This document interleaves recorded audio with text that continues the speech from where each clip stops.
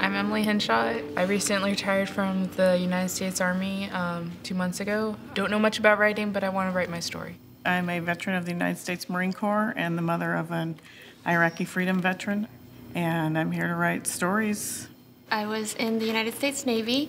I think I have a very important story that I want to tell, and so I'm learning how to write. I came to the first meeting and I said, okay, this feels like home.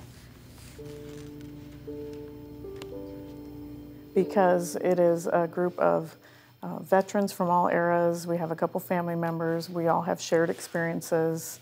So I just felt like this is where I need to be and I want to see this continue to grow.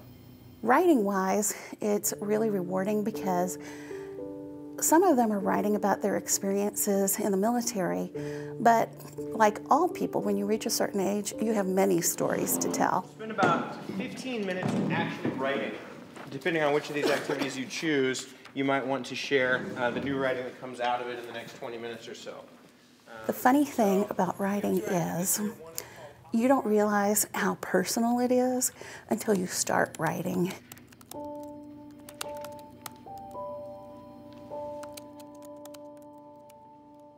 And uh, the people that are actually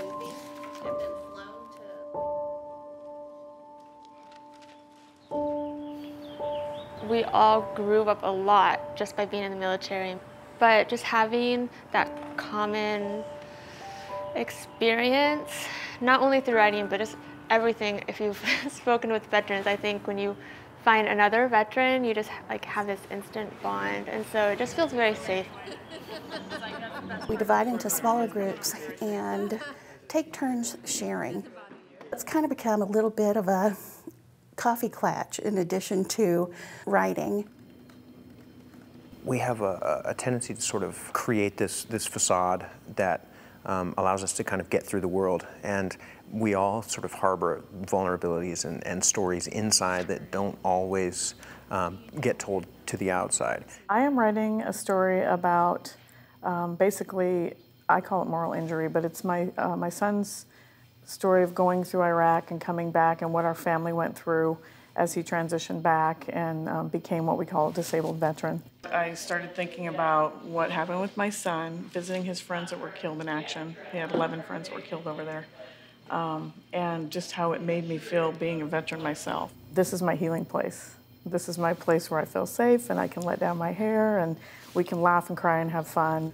What day is it today? This question infuriated me on every occasion.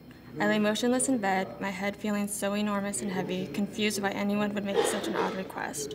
The sort of absurdity of the question, which one, you know, obviously they're trying to, you know, make certain Now I know it's a diagnostic judgments, ask, but right? It but it seems mad. so Yeah. ridiculous considering the urgency of the issue. Like, mm-hmm. why are you asking me this question? I should probably expand on that. What we have here is actually peer support. This writing, because we're other military people connected, and the peer support aspect is the therapeutic part for me. Advocating for and helping my son and those out there like him has become my passion and my life's work. You could sort of develop in parallel your story and your son's story in a way that both brings you together. The process of writing, whether or not the writing actually winds up being published or whether it winds up being um, something that other people experience, it, the act of writing is an act of therapy. It's often referred to as sort of like getting the toxins out or getting the poison out, sort of um, those things that we tend to push down. I've tried to talk to my mom about it, but then she always wants to ask me more questions about my story than I'm ready to tell yet. And everyone here seems very supportive of the writing, and they're. I find that when I come here and I read something, the feedback I'm getting is about the writing. And so your anger, it just continues to go on in waves. And I get that from what you wrote. Maybe through the writing, I'll become more comfortable with, and it will be my way of sharing the whole story with my family. It's very healing for us to work together here and share some of these stories with each other. Whether we're blood family or not, we're all family.